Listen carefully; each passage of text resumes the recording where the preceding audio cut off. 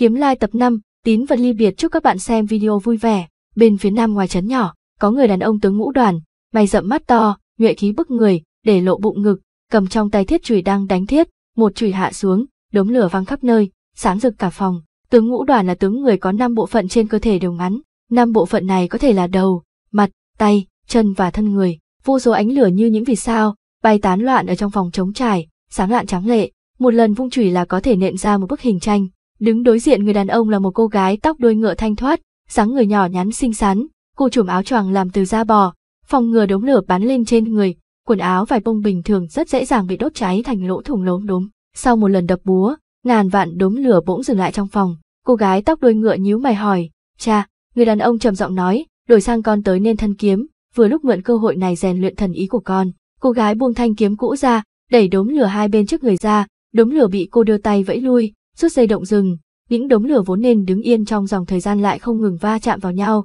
khiến cho ánh sáng trong phòng trở nên hỗn loạn. So sánh với những tiền bối cao tuổi giống như rồng ẩn dưới vực sâu trong chấn nhỏ đều đang một đám ngưng thần nín thở tĩnh tâm nhập định, thì những gì cô gái đang làm thật sự là quá mức hoành hành ngang ngược, nhất là sau khi đến phiên cô vung búa đập, thế đại lực trầm, động tác tấn mãnh, thậm chí so với người đàn ông kinh nghiệm dạy dạn lại càng thêm cuồng dã không kiềm chế được. Mỗi một lần vung búa đánh bắn ra đống lửa ở giữa trường mực cũng không sẽ biến mất, cho nên sau khi lần lượt trồng lên, đống lửa rậm rạp như lấp lánh đầy sao, dồn lại ở không trung. Trong phòng đúc kiếm có hàng triệu đống lửa, người đàn ông nhìn thẳng vào phôi kiếm đang hừng đỏ, trầm giọng dặn dò, trong lòng mặc niệm hám long thiên của chú kiếm kinh. Cô gái chợt hạ khí thế xuống, thấp giọng nói, cha, người đàn ông bực tức nói, làm gì vậy? Cô gái lại giảm khí thế, rụt rè nói, giữa chưa con ăn ít, nên đói bụng rồi, không đập búa nổi. Nam nhân càng thêm nổi điên, nếu không phải đang đúc kiếm, thiếu chút nữa muốn mắng chửi dạy dỗ người rõ ràng là kêu con đọc sách giống như lấy mạng của con, tìm lấy cớ gì vậy? Con mẹ nó, khẩu vị khuê nữ như con, đói cũng thực bình thường, thật đúng là không phải lấy cớ. Cô gái vụng trộm cười, ngoài miệng nói đói, thật ra động tác trên tay không có chút yếu bớt, trong khoảnh khắc linh tính khẽ động, cô gái hét lớn một tiếng, đem hết toàn lực nện xuống một chùy, ma xui quỷ khiến nói, đi ra cho ta. Lúc này đây đống lửa bắn ra cực kỳ phong phú, càng trói mắt hơn. Trên mặt người đàn ông không để lộ biểu cảm gì, thầm nghĩ, thành. Trong sân nhà cố sán, người phụ nữ chậm rãi tỉnh lại, đau đầu như búa bổ, được đứa nhỏ nâng dìu ngồi trở lại ghế dựa. Tiệt sang chân Quân Lưu Trí Mậu đang nhắm mắt dưỡng thần, ngón dưỡng ngón trỏ trong tay áo chậm rãi bấm đốc. Người phụ nữ cố thị đặt con ngồi xuống bên cạnh mình, nhẹ giọng hỏi, tiên trưởng, sao rồi? Lão nhân không mở mắt, nói, lão phu thu nhận một đồ đệ tốt, người có đứa con tốt, cố thị, người an tâm chờ mẹ quý nhờ con đi. Người phụ nữ vui mừng quá đỗi, lệ nóng lưng chồng ôm lấy đứa nhỏ, nhẹ nhàng hiền dịu nói, cha đứa nhỏ, người có nghe hay không, cố sán chúng ta nhất định sẽ có đại tiền đồ.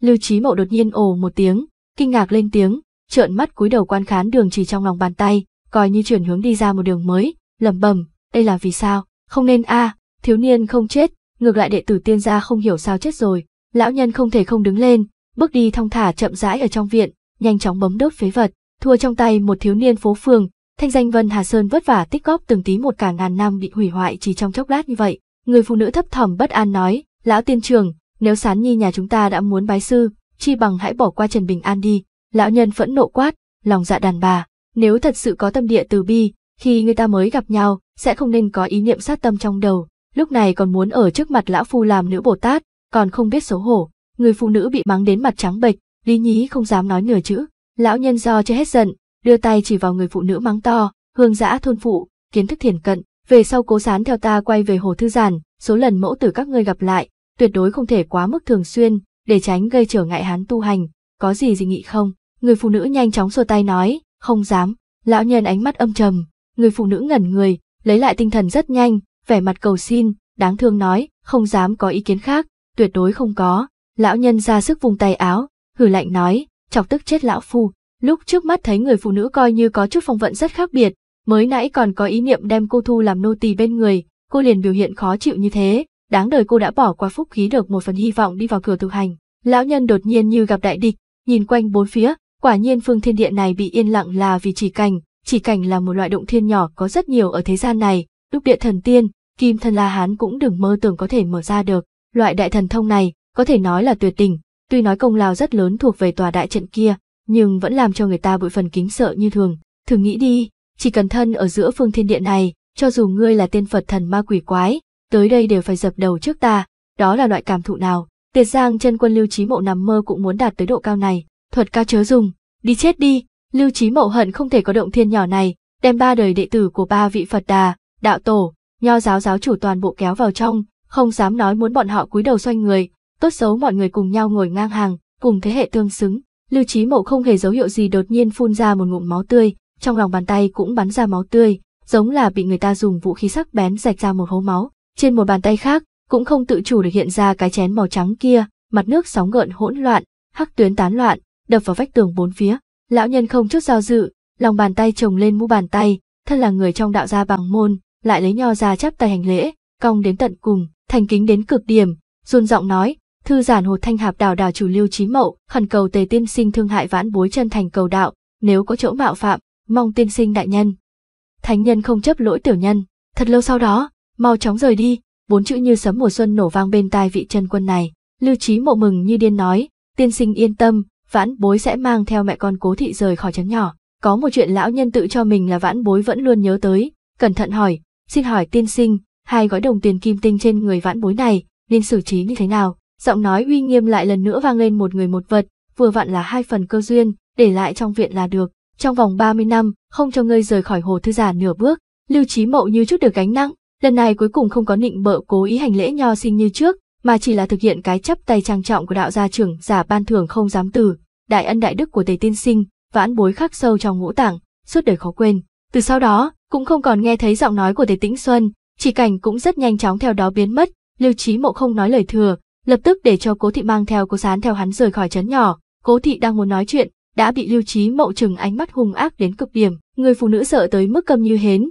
lưu trí mậu lấy ra hai chiếc túi to, tuy trong lòng có chút lưu luyến, nhưng mà vị đạo nhân bảng môn vẫn luôn mơ tưởng danh hiệu chân quân danh xứng với thực, vẫn là không chút do dự đạt lên trên ghế dựa, chỉ là thời điểm mới vừa đi đến tiểu viện, Lưu Trí Mậu đột nhiên hỏi, nhà các ngươi có lưu lại món đồ cũ nào hay không? Cố thị ngơ ngẩn, cố sán lấm la lấm lét lập tức nhắc nhở nói, không phải cha lưu lại rất nhiều bảo các sao, chính là những thứ bám bụi giấu ở dưới giường. Lưu Trí Mậu trước mắt sáng người, không nói hai lời để cho người phụ nữ dẫn đường, đi tìm tòi xem sao. Nếu vị thánh nhân kia xác nhận bản thân cố sán chính là cơ duyên, vậy có nghĩa là đứa nhỏ này có thể mang đi cơ duyên thuộc về chính nó. Về sở hữu cuối cùng của phần cơ duyên này, ở trên trấn nhỏ, chỉ sợ thiên vương lão tử đến đây, cũng phải nghe tề tĩnh xuân, nhưng mà đến hồ thư giàn, thì khó có thể nói. Rốt của cố sán không người trông giữ, đợi cho hai người vào nhà, một tay cầm lấy hai chiếc túi to, nhẹ nhàng rút ra then cửa, nhanh chân chạy vội về hướng khác của ngõ Lê Bình. Trong phòng, người phụ nữ cố thị quỳ ở trên đất, sờ soạng dưới giường để vận chuyển chiếc xương, xương không lớn nhưng cũng rất nặng,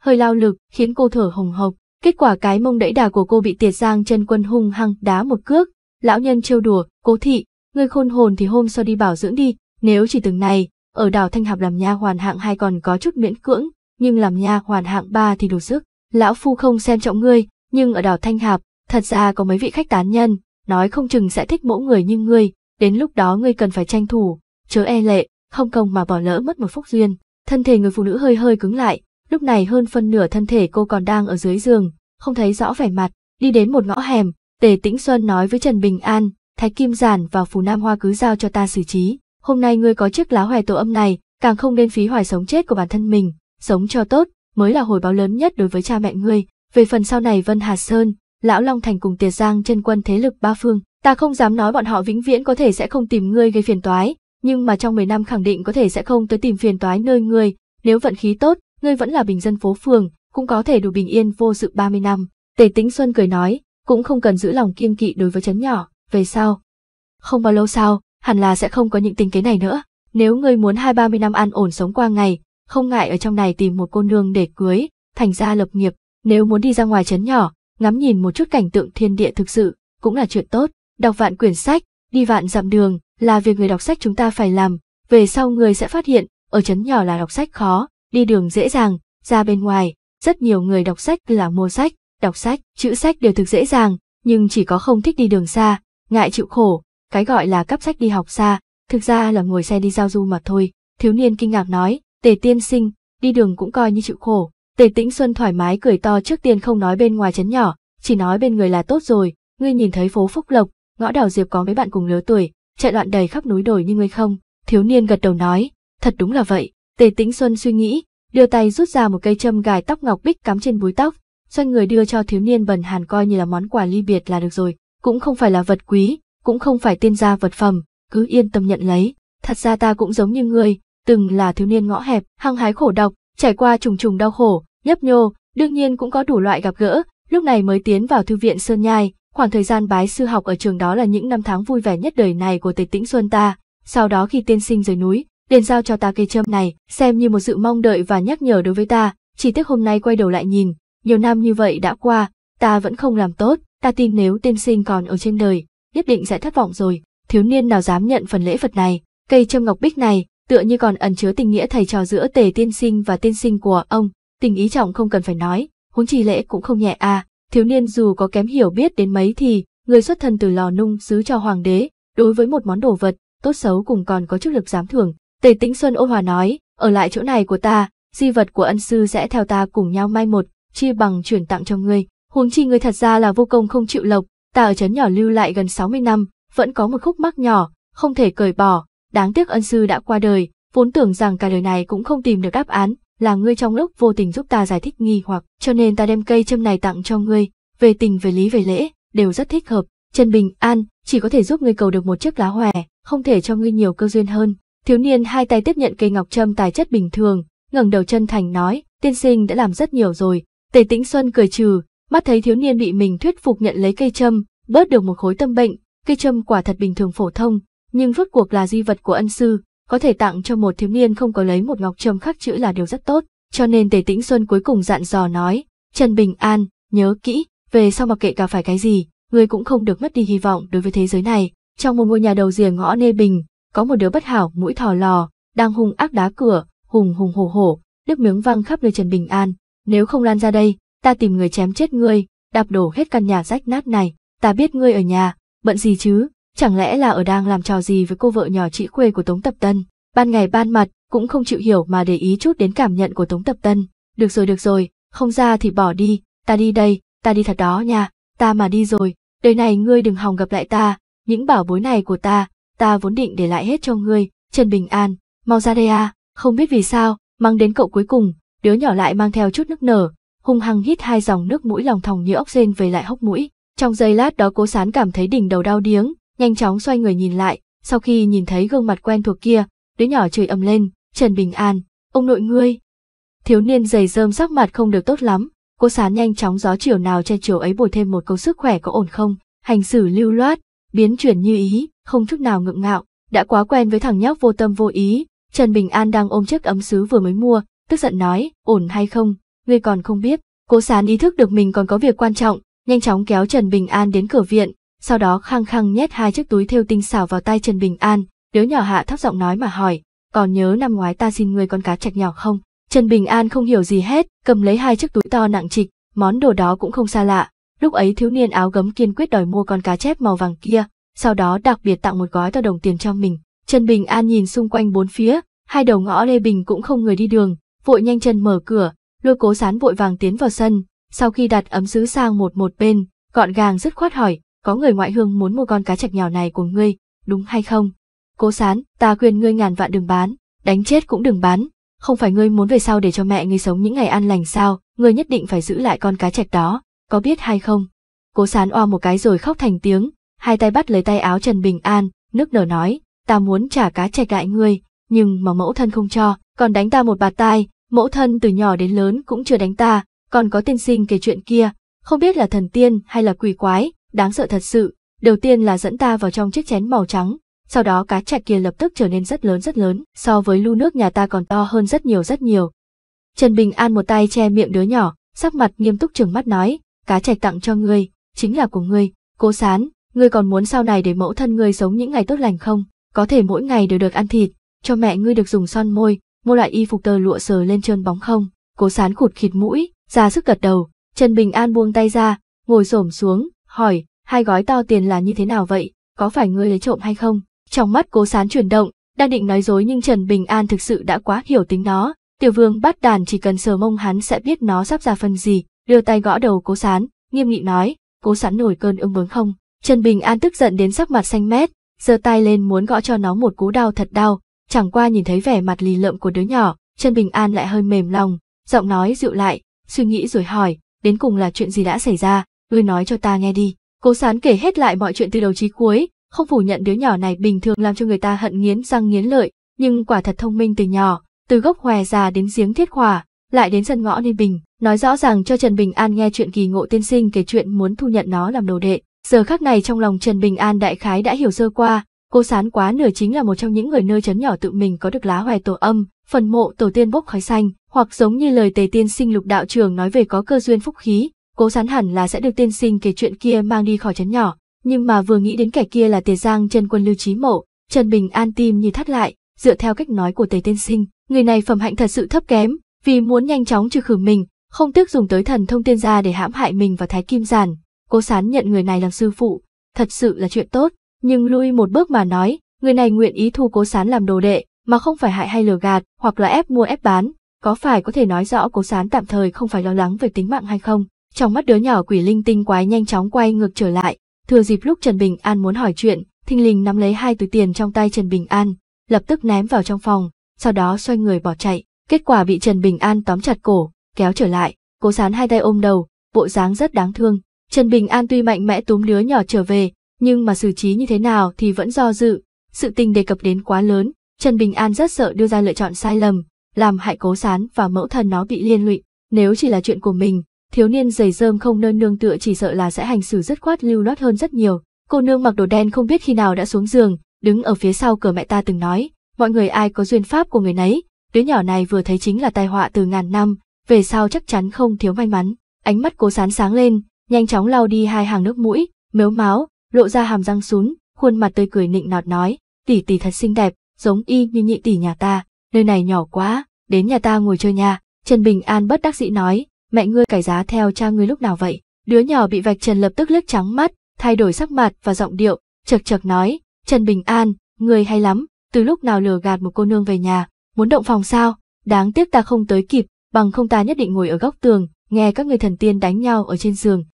Trần Bình An tát một cái lên trên đầu cố sán, xin lỗi cô gái mặc đồ đen, nói, hắn cứ như vậy đó, cô đừng tức giận, cô gái liếc mắt đứa nhỏ danh con, cố sán đang muốn phát huy một chút bản lãnh gia truyền, nhận thấy bàn tay để trên đầu mình lặng lẽ tăng thêm lực đạo, lập tức yếu xuống, hữu khí vô lực nói, tỷ tỷ bộ dạng tỷ như thủy linh vậy, nói gì cũng đúng hết. Cô gái mặc đồ đen không quan tâm đứa nhỏ này, quay đầu nhìn phía Trần Bình An, hàm chứa thâm ý nói, hai túi đồng tiền kia, tốt nhất ngươi hãy nhận lấy, đỡ phải về sau trở mặt thành thù. Hơn nữa đứa nhỏ này tương lai một khi tu đạo thành công, hôm nay ngươi không cho hắn giảm bớt một chút áy náy, rất có khả năng làm hại hắn đạo tâm không ổn, làm cho thiên ma ngoại đạo nhân cơ hội mà vào. Lời này có sán thích nghe, giơ ngón tay cái lên đối với vị tỷ tỷ nọ tóc dài, kiến thức cũng nhiều, quả nhiên đáng tin hơn so với con mụ cách vách. Ngõ nê bình xa xa, vang lên một tiếng giống giận vô cùng lo lắng cố sán. Đứa nhỏ sắc mặt hơi trắng đi thôi đi thôi, Trần Bình An, ta đi đây, ngoài miệng nói phải đi, nhưng thật ra đứa nhỏ không ý thức được, càng nắm chặt hơn năm ngón tay của Trần Bình An,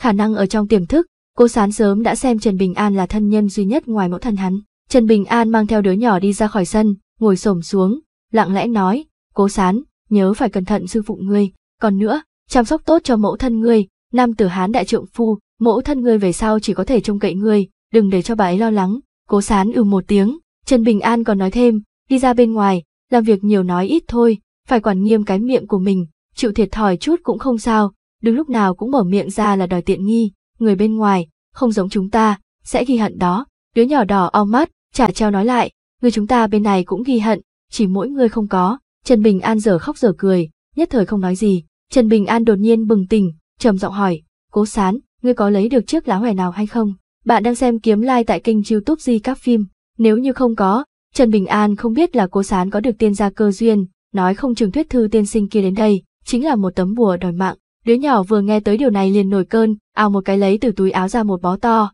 quen miệng mắng chửi một câu rồi nói, không biết kẻ khốn kiếp đáng chén ngàn đao nào đã vụng trộm nhét vào túi áo ta nhiều lá cây rách nát như vậy, mới vừa rồi lúc ta chuồn em khỏi nhà, giấu hai túi tiền mới phát hiện, không phải triệu tiểu béo, thì chính là lưu mai nha đầu lừa đảo kia, nếu để mẹ ta giặt quần áo nhìn thấy, không mắng ta mới là chuyện lạ, cũng may ta sắp phải rời khỏi, bằng không xem ta có ném trộm đá vào nhà xí của bọn họ không.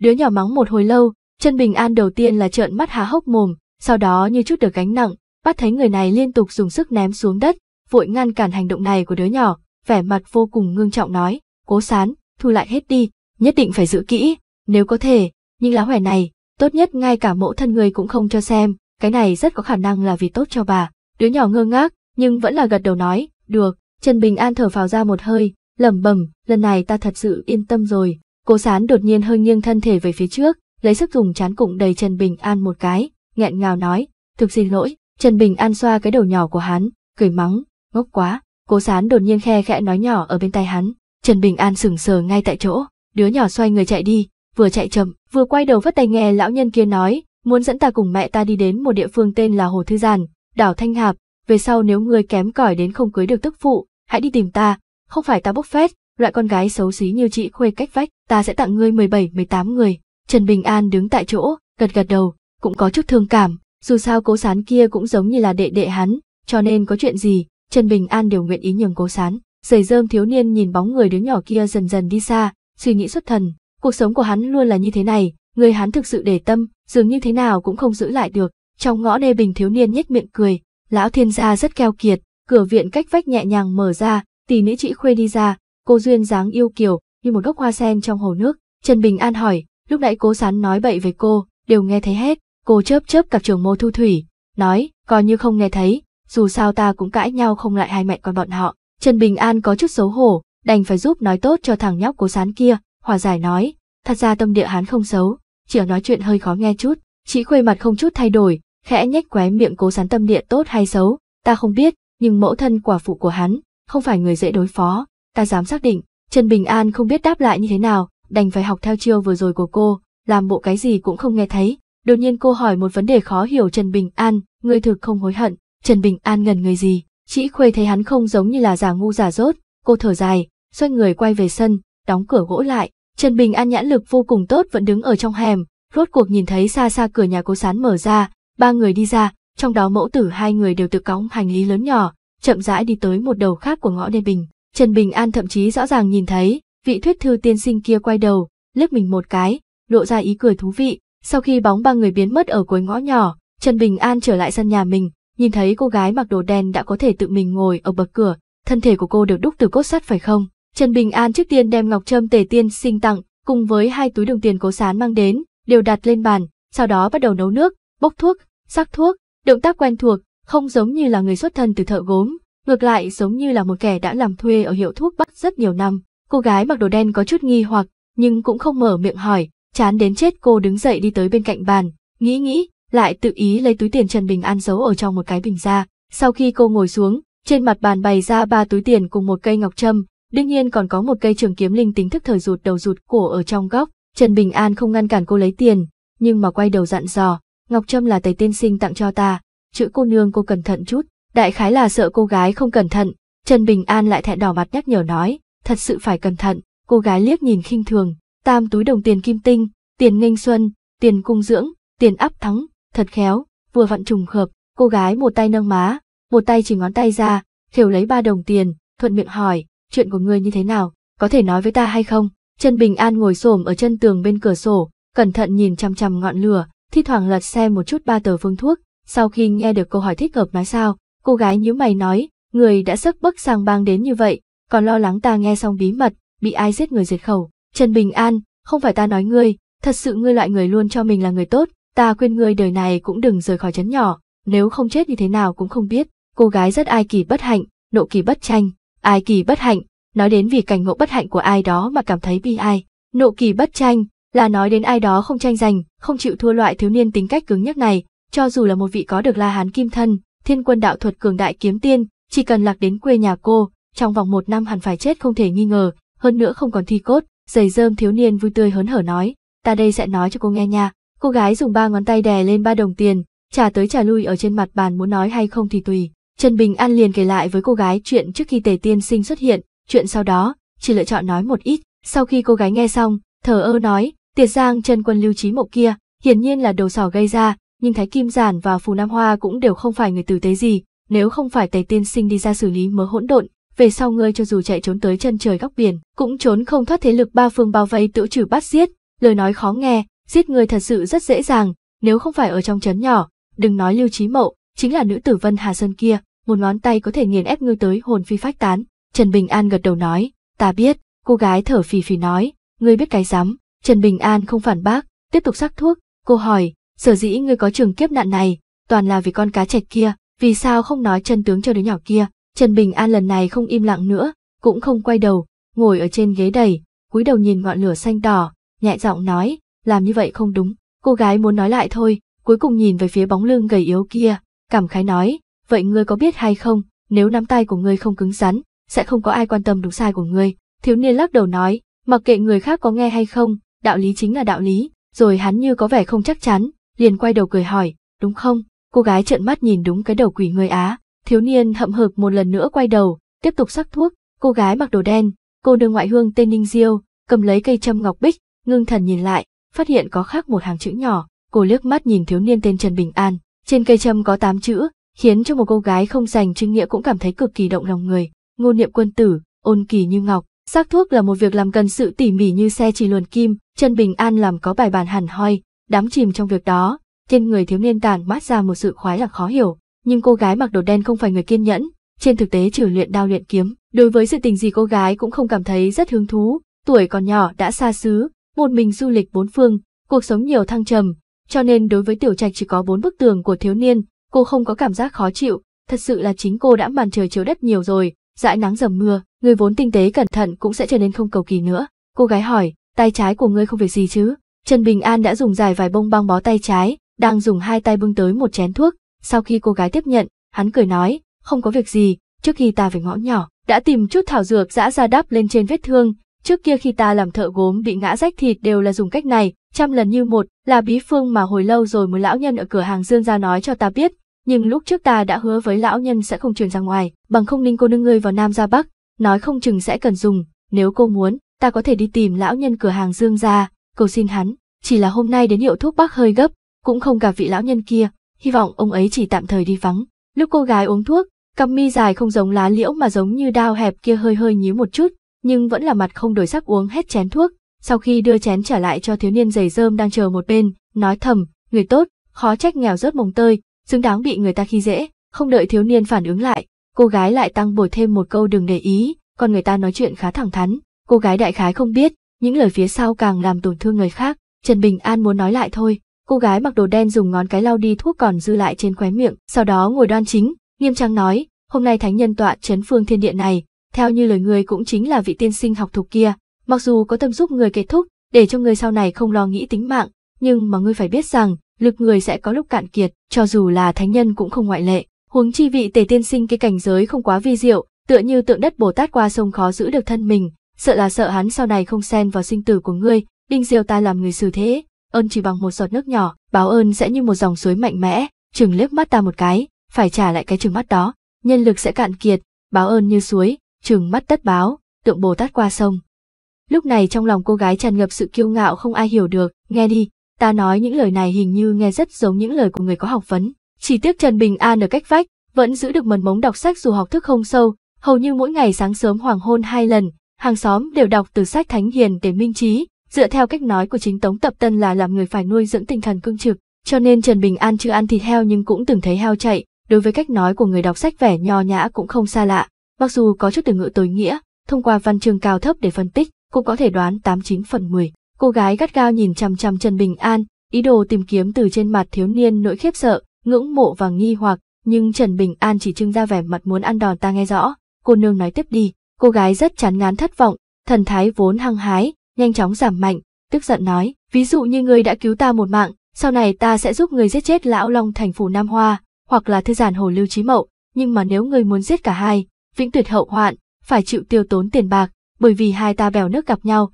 tình cảm cũng không sâu rậm như vậy, cho nên ngươi cần dùng một túi đồng tiền kim tinh, làm thù lao. Cô gái nhanh chóng lấy tay chỉ chỉ túi tiền nghênh xuân ví dụ như túi này, ta cũng rất thích, hai túi tiền cung dưỡng, tiền áp thắng hình thức khó coi, ta cũng không thích chú văn. Kế tiếp cô gái hơi hơi hất cầm lên nếu ngoài việc hoàn thành khoản mua bán này, ngươi nguyện ý trả cho ta hai túi đồng tiền, ta sẽ giúp ngươi san bằng Lão Long Thành và Vân Hà Sơn. Đương nhiên, nếu ta chết sớm ở trong tay Lưu Trí Mộ, tất cả không cần nhắc tới nữa, dù sao hiện tại tu vi ta không cao, võ đạo cửu cảnh, vừa mới chen thân vào cảnh thứ sáu, chỉ mới ở trình độ cứng cỏi về khí lực thuần túy, còn chưa nên trò chống gì, về phần tu hành đăng sơn 15 trọng lâu, 15 tầng cảnh giới, lại chỉ tới đạt long môn cảnh trong ngũ cảnh, ở trong đan thất, ta có 6 tờ đầu án, chưa vẽ rồng điểm mắt thành công, cũng chưa thể để cho thiên nữ phi thiên. Tới lúc này Trần Bình An thật sự nghe quá mơ hồ, không hiểu ra sao, Cô gái nhất thời có chút thẹn quá hóa giận, cảnh giới thấp, vẫn luôn bị cô xem là nỗi sỉ nhục, bộ dáng si ngốc của Trần Bình An tượng như cô nương giải thích lại lần nữa cho ta, không thể nghi ngờ là chọc trúng chỗ thương tâm nhất của cô gái. Nhìn thấy cô gái sắc mặt âm trầm, Trần Bình An dù là kẻ ngốc cũng biết tình thế không ổn, nhanh chóng nói sang chuyện khác vì sao lúc trước cô nương bị thương nặng như vậy, hiện tại tượng như đã khỏi hơn phân nửa. Cô gái hơi cúi thấp mặt xuống, hai tay ôm ngực, giọng nói khàn khàn, ngay lúc đó thật sự là sắp chết, nếu lục đạo trưởng không thể cứu chữa được ta, ta sẽ phải. Dù sao ta thiếu người một nhân tình to lớn, ta lại càng không nên mượn gió bẻ măng, để ngươi bỏ ra ba túi kim tinh đồng tiền. Một tính mạng của Ninh Diêu ta làm sao có thể so sánh với Lưu Trí Mậu, cho nên là ta không đúng, ngươi coi như ta chưa từng nói gì, chờ sau khi ta rời khỏi trấn nhỏ, ta sẽ làm hết sức, tranh thủ giúp ngươi giải quyết những ưu phiền sau này, nhưng mà ta nói trước, Ninh Diêu ta chỉ biết làm theo khả năng, có thể sẽ không trong lòng biết hẳn phải chết nhưng vẫn sẽ cùng người ta liều mạng, đổi mạng, đại khái là cô gái cúi đầu nhận sai, thật hiếm mà có được, cho nên trong lòng cô tâm tình cực kỳ mất mát. Trần Bình An hỏi, tiền cung dưỡng là túi nào? Cô gái chỉ chỉ vào một túi theo màu vàng kim trong đó. Trần Bình An lấy từ bên trong ra ba đồng tiền, sau khi cầm trong tay rồi, hắn dùng cánh tay đẩy ba túi tiền tới trước mặt cô gái, cười nói, này, tặng cho cô. Cô gái trợn mắt há hốc mồm, thật lâu sau mới hoàn hồn, hỏi, Trần Bình An, hồi nhỏ ngươi có bị ván cửa kẹp trúng đầu không? Trần Bình An bớt đắc dĩ nói, không có, hồi nhỏ khi đi chăn trâu cho người ta, thường xuyên bị đuôi trâu quẹt trúng. Cô gái bỗng nhiên giận tím mặt, vỗ mặt bàn, chất vấn nói, có phải người thích ta hay không? Trần Bình An ngây ra như phỗng, cô gái nhếch miệng cười, giơ ngón tay cái lên với Trần Bình An, nói, ánh mắt không tệ. Sau đó cô gập ngón tay cái, chỉ hướng về phía mình, thần thái sáng láng nói, nhưng mà ta cũng sẽ không nhận lời, nam nhân ninh diêu ta thích, nhất định phải là kiếm tiên lợi hại nhất khắp thiên hạ, khắp thiên hạ, lợi hại nhất, đại kiếm tiên, cái gì đạo tổ Phật đà, cái gì nho gia trí thánh, ở phía trước một kiếm của hắn, cũng phải cúi đầu, đều phải nhường đường. Trần Bình An mặt đỏ lên, gãi gãi đầu nói, Ninh cô nương cô hiểu lầm rồi, ta không thích cô à. Cô gái nhấn lông mi, nghĩ nghĩ, thân thể cô nghiêng về phía trước, nheo lại liếc mắt một cái, nâng tay lên, giữa ngón cái và ngón trỏ dư ra khoảng cách một tấc, thực dạ hỏi, thích cỡ như vậy, cũng không có. Trần Bình An chém đinh chặt sắt, giọng điệu kiên định nói, không có, Ninh cô nương cô yên tâm, cô gái thu tay lại, nặng nề thở dài, thương hại nói, Trần Bình An à, về sau ngươi cho dù may mắn cưới được vợ, quá nửa cũng là người ngốc nghếch. Trần Bình An ngồi ở đối diện bàn, vui vẻ cười nói, chỉ cần cô ấy là người tốt là được. Cô gái đối với điều này không ý kiến gì, ăn no chờ chết, của ít yên ổn, thăng chức nhanh chóng, những chuyện tựa như lời mẹ cô nói, đều có duyên pháp, chưa chắc đã phân cao thấp, chẳng qua cha cô cũng không đồng ý đối với điều này, số mạng không có thì chớ cưỡng cầu, không cưỡng cầu, chứ không phải không cầu mong điều gì, cầu thì vẫn phải cầu một chút, nếu cuối cùng vẫn là cầu mà không được, thì lại là chuyện khác. Đương nhiên những lời này, cha cô tuyệt không dám giáp mặt nói với mẹ cô. Trần Bình An thuận miệng hỏi, Ninh cô nương cũng là đến chấn nhỏ chúng ta cầu cơ duyên sao? Cô gái không có gì phải che đậy, hồi đáp, ta dùng hết toàn bộ của cải tích góp từng ngày, cộng thêm một phần tình cảm, mới đổi lấy danh ngạch tiến vào chấn nhỏ này, nhưng ta không giống những người đó, ta không cầu cái gì cơ duyên khí số, chỉ là muốn người ta đúc giúp ta một thanh kiếm, tốt nhất có thể hợp với tâm ý của ta, về phần sắc bén hay không sắc bén, có chịu được đại lượng kiếm khí hay không, lại là chuyện rất thứ yếu. Trần Bình An nghi hoặc nói, đúc kiếm, cô gái nói, chính là thợ rèn Nguyễn Sư Phụ, ở chỗ các người hắn có thành danh rất lớn, còn có quy củ bất di bất dịch, mỗi 30 năm chỉ đúc một cây kiếm, hắn sở dĩ nguyện ý tới đây thế thân tề tĩnh xuân, chính là cảm thấy nơi đây thích hợp mà lò đúc kiếm, ta đi thử thời vận, xem hắn có nguyện ý đúc kiếm cho ta hay không, nếu thật sự không được, ta cũng hết cách, coi như mình vận khí không tốt, Trần Bình An cười nói, người tốt sẽ có phúc báo, cô gái hữu khí vô lực nói, chịu thôi, cô liếc mắt nhìn thiếu niên tay trái ngươi không đau, Trần Bình An ngẩn người đau a, cô hoài nghi nói, sao nhìn ngươi thấy không giống a, Trần Bình An thiên kinh địa nghĩa nói, ta cho dù lăn lộn khắp nhà, la to hét lớn, thì cũng đâu thể hết đau được, cô gái vỗ chán thực sự chịu thôi, ngươi giống y như cha ta, nhưng bản lãnh của ngươi so với ông ấy thì kém xa. Trần Bình An cười không nói, im lặng nhìn sân vườn phía ngoài phòng, cô gái đẩy ba túi đồng tiền trở về ta không cần. Trần Bình An thu hồi tầm mắt, nhẹ giọng nói, Ninh cô nương, cô có nghĩ tới hay không, ta giữ lại chúng nó, chưa chắc là chuyện tốt. Sau khi gặp tề tiên sinh, ta càng thêm xác định điểm ấy. Sau khi cô gái quyết định một việc, sẽ không sửa đổi nữa, lắc đầu nói, đó là chuyện của ngươi, không liên quan gì tới ta. Ta nghĩ kỹ rồi, chuyện báo đáp ân cứu mạng, về sau ta nhất định sẽ hoàn lại, hơn nữa tuyệt đối không ăn bớt ăn xén, cũng không làm thất vọng cái tên Ninh Diêu này. Nhưng mà mấy năm tới ngươi phải sống cho tốt, đừng để sơ sẩy mà chết, ngươi chỉ cần sống sót qua khoảng thời gian này.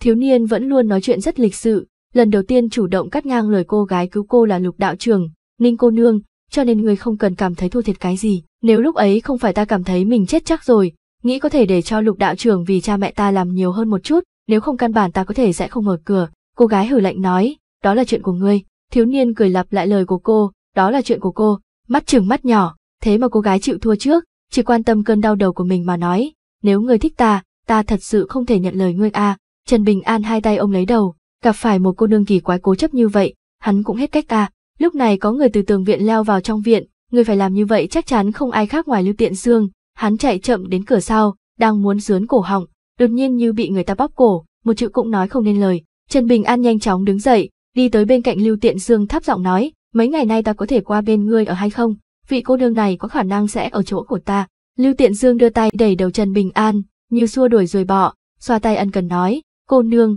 nhà của ta rộng lớn hơn, đồ dùng cũng đầy đủ hết, nếu cô nương không chê, đến nhà của ta mà ở, sao hả? Cô gái mặc đồ đen quay lưng về hai người, bình thản nói, đáng ghét. Lưu Tiện Dương nghe răng trợn mắt, nhìn bóng lưng đeo đeo tinh tế động lòng người kia, chưa từ bỏ ý định nói, cô nương, cô không hiểu đâu, lúc nãy còn có hai nhóm ngăn cả đường ta đi ở cầu hành lang, khóc lóc xin ta bán bảo vật tổ truyền cho bọn hắn, ta cũng chưa đáp ứng, xui xẻo làm sao, đám người đó hại ta thiếu chút nữa bị Nguyễn sư phụ mắng chết, ta thấy cô nương cũng là từ ngoại hương đến chấn nhỏ tìm vận khí, Lưu Tiện Dương ta tuy cũng chưa chắc sẽ bán cho cô, nhưng mà để cho cô nương xem qua, mở mang tầm mắt, khẳng định không thành vấn đề à. Ninh Diêu vẫn như cũ lạnh lùng nói, không cần. Lưu Tiện Dương tự mình ngồi xuống vị trí ban đầu của Trần Bình An, sau khi nhìn thấy dung mạo của cô gái mặc đồ đen, hai mắt tỏa ánh sáng nói, cô nương cô đừng khách khí như vậy, ta và Trần Bình An ở chung trong ngôi nhà rách này là được. Sau khi cô nương đi tới đại trạch, cũng sẽ không sẽ cảm thấy gò bó, giống như đến tay chân cũng không có chỗ để đặt. Ninh Diêu cao mày hồi đáp, ý tốt tâm lĩnh, ở đây không còn việc của ngươi nữa. Lưu Tiện Dương cũng không biết xấu hổ, đứng dậy nói, được rồi, ổ vàng ổ bạc không bằng ổ cỏ nhà mình, hiểu rồi. Lưu Tiện Dương lôi Trần Bình An đến ngoài cửa, lấy khuỷu tay huyết thiếu niên một cái chuyện gì vậy. Trần Bình An khó xử nói, nhất thời không thể nói rõ mọi chuyện, ngươi nói ta có thể qua bên nhà ngươi ở đúng không? Bạn đang xem kiếm like tại kênh youtube Di các phim. Lưu Tiện Dương khinh thường nói, cái này có gì mà có thể hay không, nhưng mà ngươi phải hứa với ta, giúp ta trông chừng trị quê ngàn vạn đừng làm cho tống tập tân tiểu xúc sinh kia làm sằng làm bậy, đến lúc đó ngươi nên giúp ta bảo vệ sự trong sạch cho người vợ tương lai của ta. Trần Bình An không chút do dự nói, đừng mơ. Lưu Tiện Dương vỗ vỗ bả vai Trần Bình An, dùng giọng điệu nghiêm túc mà nói, coi như ngươi nhận lời rồi. Cô gái mặc đồ đen trong phòng đột nhiên quay đầu nói, ngươi có biết mình là một phôi kiếm trời sinh hay không? Sở dĩ người mua gốm lúc ngươi 9 tuổi không đưa ngươi đi ra ngoài, có lẽ là vì muốn cho ngươi ở trong này hấp thu càng nhiều linh khí hơn. Lựa chọn này là đúng, cho nên ngươi ở bên Nguyễn Sư Phụ, nhất định phải nắm bắt cơ hội, để cho hắn thu ngươi làm đồ đệ, nhớ kỹ, ít nhất là đệ tử nhập thất, tốt nhất là môn sinh đích truyền. Về phần đệ tử quan môn, không cần hy vọng xa vời, căn cốt thiên tư của ngươi, còn chưa tốt đến mức đó đâu. Lưu Tiện Dương cười gật mạnh đầu, ngoài miệng được rồi tốt rồi, sau đó quay đầu nhìn phía Trần Bình An, chỉ chỉ cô gái trong phòng, sau đó chỉ chỉ đầu mình. Trần Bình An nói, lời cô ấy nói là sự thật, ngươi đừng xem nhẹ. Lưu Tiện Dương không hề cợt nhả, trở nên trầm mặc, thấp giọng nói, ta cảm thấy sự tình không quá thích hợp, hai nhóm người ở cầu hành lang, ngươi đoán xem là ai cầm đầu dẫn đường, là con cháu nhà rùa lô chính thuần ở phúc lộc phố kia, cái này không phải trồn chúc Tết gà sao, ta cũng không thèm để mắt tới bọn họ, vì sao phải buôn bán với bọn họ, huống chi món khải giáp đó là đồ cổ một thế hệ nhà ta lưu lại, ta muốn bán, về sau trong mộng gặp gia gia của ta, còn không bị ông mắng chết khiếp à. Sau khi Trần Bình An nghe hết tất cả thì như lâm đại địch ngươi phải cẩn thận, Lô Chính Thuần cùng những người ngoại hương này, không dễ chọc, thiếu niên quay đầu hỏi, Ninh cô nương, cô biết lai lịch những người đó sao? Cô gái mặc đồ đen gật đầu nói, lão nhân cùng bé gái kia đến từ chính Dương Sơn, cũng coi như là danh môn chính phái Đông Bảo Bình Châu các ngươi, lão nhân không phải người. Tóm lại, so với Phù Nam Hoa hoặc là Thái Kim Giản, hắn đều lợi hại gấp trăm lần, phu nhân và con trai bà ta cũng không đơn giản, thật ra có thể kết bạn tiến vào chấn nhỏ, đương nhiên không phải người có tiền bình thường, người phụ nữ kia tâm địa sâu xa, đứa con trai cũng không giống như là người tâm tư lương thiện, cho nên ta khuyên bằng hữu của ngươi, nhanh chóng để cho Nguyễn sư phụ nhận làm đệ tử, chẳng khác nào có một tấm bùa bảo mệnh bằng thân ở chấn nhỏ, cho dù có chỗ dựa lưng đến mấy, cũng không có người nào dám ra tay cùng vị thánh nhân này. Trần Bình An lại hỏi Lưu Tiện Dương ngươi có nắm chắc sẽ được làm đồ đệ của Nguyễn sư phụ hay không? Lưu Tiện Dương có chút bối rối, ấp a ấp úng nói, cái này không lo, ngày đầu tiên đi làm người học việc, ánh mắt Nguyễn sư phụ nhìn ta, khá giống với Diêu lão nhân lúc xưa, nhắm chừng là quan sát ta một đoạn thời gian rồi sẽ quyết định có thu làm đồ đệ hay không. Chỉ là Trần Bình An hung hăng trừng mắt, Lưu Tiện Dương cười xấu hổ nói, chỉ là Nguyễn sư phụ có nữ nhi bảo bối, đặc biệt hấp dẫn, khiến cho ta rất ngạc nhiên, vì thế mới bông đùa vài câu, không nghĩ tới thời điểm khuê nữ đó đánh thiết, phung đầu truy lên, phải gọi là bá đạo sinh mãnh, bình thường cô ấy đặc biệt ngại ngùng thẹn thùng, ta làm sao dự đoán được cô ấy không thích nói đùa như vậy, lúc ấy đã chọc khóc cô ấy, lại không đúng dịp để cho cô ấy đụng phải bắt phải, thấy ánh mắt ta không thích hợp, chuyện nhận đồ đệ chưa chắc không bị ảnh hưởng, nhưng dù sao ta cũng không muốn làm trâu làm ngựa làm đồ đệ cho người ta, hầu hạ diêu lão nhân tính tình kỳ quái đã chịu đựng đủ rồi, bây giờ ta không muốn kiếm cơm ở cửa hàng thợ rèn nữa. Trần Bình An ngẩng đầu, mặt đen lại, Lưu Tiện Dương vóc dáng cao hơn nửa cái đầu so với thiếu niên dày rơm, cúi đầu, không dám nhìn thẳng thiếu niên. Một màn cảnh tượng này khiến cho Ninh Diêu cảm thấy có chút nghi hoặc khó hiểu. Đây cũng là lần đầu tiên cô gái nhìn thấy bộ dáng Trần Bình An thực sự tức giận. Trần Bình An thấp giọng hỏi, chuyện xảy ra nơi cây hoài ra, trên người có phải cũng không biết từ đâu mà có thêm một ít lá hoè hay không? Lưu Tiện Dương lắc đầu nói, không có a, nhưng thật ra đạo nhân tướng số thích ngắm phụ nữ kia có nói với ta vài lời xui xẻo, thiếu chút nữa ta đánh sập sạp của hắn. Trần Bình An sắc mặt khẽ thay đổi, trong mày, quay đầu nhìn phía trong phòng, hỏi, Ninh cô nương, trao đổi nha, ba gói tiền kim tinh, được không? Còn nữa, có thể gây ra lại phiền toái cho cô hay không? Điểm này, mời cô cần phải nói trước cho rõ ràng. Cô gái mặc đồ đen cẩn thận suy nghĩ phiền toái không nhỏ, nhưng vấn đề không lớn. Nhưng mấy ngày này nhất định phải cẩn thận, nói bằng hữu của ngươi đừng ra đường làm loạn, dù sao tình huống trước mắt ta không rõ lắm. Cô còn nói thêm, hai nhóm người, hai túi tiền, chuyện để cho Nguyễn sư phụ nhận đồ đệ, lại thêm một túi tiền, tóm lại làm xong mấy việc, ta sẽ thu mấy túi tiền, yên tâm, nếu như ta đã đồng ý, thì ít nhất cũng thu hoạch được hai túi tiền. Trần Bình An chạy vào nhà, nhanh chóng lấy hai túi tiền chứa tiền nghênh xuân bên trong, hỏa tốc giao cho cô gái nhận lấy đi. Cô gái vốn là không phải tính tình lê thê ướt át, không cự tuyệt, sau khi thu nhận hai túi tiền, ngoài cười nhưng trong không cười nói, trên đời này rất hiếm khi có người nhét tiền vào túi mình, còn có loại người thích làm tán tài đồng tử như ngươi. Thiếu niên lúc này đây không phản bác, gật đầu cười nói, tiền rất quan trọng, rất quan trọng rất quan trọng. Lưu Tiện Dương vẫn chẳng hay biết gì, vô cùng lo lắng nói, Trần Bình An, ngươi điên rồi à, vì sao đưa tiền cho cô ấy, cả hai túi đồng tiền, đủ để ngươi xài bao lâu. Trần Bình An tức giận nói, tiền của ta, ngươi quản được. Lưu Tiện Dương đúng lý hợp tình nói, tiền của ngươi, không phải là tiền của ta sao, ngươi nghĩ đi à, nếu ta tìm ngươi vay tiền, ngươi có mặt giải đòi ta trả lại. Trần Bình An không nói lời nào, lâm vào trầm tư. Lưu Tiện Dương cũng ý thức được mình nói lời chêm chọc không đúng lúc, câm miệng, không nói. Trong lúc nhất thời không khí trong phòng có chút trầm trọng, Trần Bình An mở miệng hỏi, Ninh cô nương, ngươi thật sự sẽ không vì chuyện này. Cô gái mặc đồ đen liếc mắt nhìn trường kiếm vỏ trắng trên bàn, gật đầu nói, không thành vấn đề, sau đó cô thật sự nhịn không được, nói, lầy mề, ngươi có phiền hay không, ngươi còn nói ngươi không phải người tốt, Trần Bình An cười cười, Lưu Tiện Dương nghĩ nghĩ, không nói gì, thiếu niên cao lớn cuối cùng giấu những lời muốn nói ở trong bụng, nghĩ rằng cô nương này đại khái cô chưa từng thấy được một mặt khác của người này đâu, rất ít khi cảm thấy Trần Bình An khó nói chuyện, nhưng một khi đã cảm thấy khó nói chuyện thì thực sự không thể thuyết phục được Trần Bình An. Lưu Tiện Dương hắn đã gặp, Tống Tập Tân ở cách vách hẳn cũng đã gặp, không bao lâu sau khi Lưu Tiện Dương đi vào ngõ Nê Bình, ngõ nhỏ lại có thêm vị khách ít đến, kẻ đọc sách Triệu Diêu mặc thanh sam cử chỉ văn nhã, có vài phần giống với tên sinh dạy học Tề Tĩnh Xuân. Triệu Diêu là trưởng tôn của một trong bốn thế gia vọng tộc của trấn nhỏ, so với Lô Chính Thuần loại chơi bời lâu lồng ăn chơi chắc táng, Triệu Diêu cũng xuất thân phú quý, danh tiếng cũng rất tốt, trấn nhỏ rất nhiều mẹ quá con côi lão nhân đều từng chịu ân huệ của thiếu niên, nếu nói đây là cái gọi là cách thức danh dị dưỡng vọng nơi thôn dã trên sách vở, hình như hơi đánh giá quá cao tâm trí của Triệu Diêu, có chút lấy dạ tiểu nhân đo lòng quân tử, dù sao bắt đầu từ 10 tuổi, thiếu niên đã có tấm lòng giúp mọi người làm điều tốt như vậy, năm này qua năm khác, cũng không có khi nào chảnh màng, cho dù là lão nhân phúc lộc phố nhìn thiếu niên lớn lên, cũng đều phải giơ ngón tay cái, mỗi lần gian dạy con cái trong nhà, luôn đem Triệu Diêu ra làm gương, điều này khiến cho Triệu Diêu không có bằng hữu kết giao cùng tuổi tác. Đám người lô chính thuần kia tính tình tự do, cũng không muốn qua lại cùng một con mọt sách cả ngày chỉ biết đến sách vở, thử nghĩ một chút mọi người đang hứng thú trèo ra đầu từng rình trộm quả phụ xinh đẹp, kết quả có người ở bên cạnh nhắc không nhìn đều sai, chẳng phải là mất hết hứng thú sao. Tóm lại, thiếu niên triệu diêu mấy năm nay thích cùng người bên ngoài phúc lộc phố giao tiếp, ngõ hẻm to nhỏ, hắn hầu như đều đi qua, trừ ngõ đê bình, bởi vì trong con ngõ nhỏ này có tống tập tân, một bạn cùng lứa tuổi để cho triệu diêu thường xuyên cảm thấy tự biết xấu hổ. Nhưng nếu thật sự muốn nói tới bằng hữu, Triệu Diêu đại khái chỉ quen biết Tống Tập Tân người bạn chơi cờ này, tuy nói đã nhiều năm qua chơi cờ vẫn bại dưới tay Tống Tập Tân, nhưng mà tâm lý thắng bại vẫn là tâm lý thắng bại, chấp niệm muốn thắng cờ vẫn là chấp niệm, đối với Tống Tập Tân thiên tư cao tuyệt, Triệu Diêu thật sự đáy lòng vẫn rất bội phục, chẳng qua Triệu Diêu có chút mất mát, là vì trực giác nói cho hắn, Tống Tập Tân tuy cùng mình hi hi ha ha, bình thường kết giao thân mật khăng khít, nhưng mày như cho tới bây giờ vẫn chưa từng xem hắn là chi kỷ bằng hữu chân chính, Triệu Diêu tuy lúc trước chưa từng bái phòng nhà Tống Tập Tân, nhưng mà khi hắn liếc mắt một cái nhìn thấy một tòa nhà, liền biết chắc nhà này là gia môn của Tống Tập Tân, là do câu đối xuân dán nơi cửa kia, rất nhiều chữ, hơn nữa vừa thấy là biết chữ của Tống Tập Tân, lý do rất đơn giản, thật sự là phong cách thay đổi nhiều lắm, hầu như có thể nói là mỗi chữ đều khác nhau, tỉ như hai chữ ngự phong, hành văn liền mạch lưu loát, tùy tâm sở dục, rất có phiêu nhiên ý, một chữ uyên, bộ thủy bên cạnh, càng thâm ý lâu dài, một chữ kỳ, lại là nhấc bút thật lớn, khí phách thật lớn, lôi đình vạn quân, một chữ quốc lại viết trung chính bình hòa, như thánh hiền ngồi ngay ngắn, không chỉ ra được nửa điểm tì vết nào. Triệu Diêu đứng ở cửa viện, hầu như đã quên gõ cửa, thân thể nghiêng về phía trước, si ngốc nhìn những chữ này, thất hồn lạc phách, chỉ cảm thấy mình sắp không còn dũng khí gõ cửa nữa.